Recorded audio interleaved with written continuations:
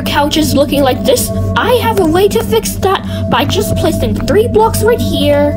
two stairs right here, another two stairs right here, three rails right here, three minecarts right here, break the rails, three slabs right here, three pistons right here,